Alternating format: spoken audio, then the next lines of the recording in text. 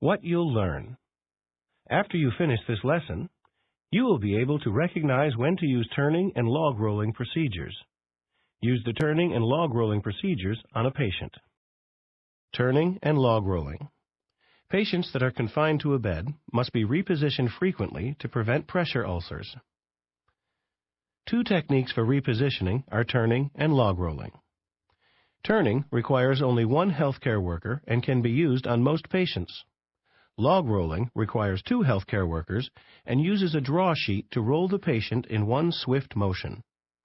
Because turning is not always a smooth motion, log rolling is recommended for patients who are elderly or who have arthritis or spinal injuries. Individual medical facilities may have preferences for when to use turning and when to use log rolling. Healthcare workers should follow the guidelines at their facility.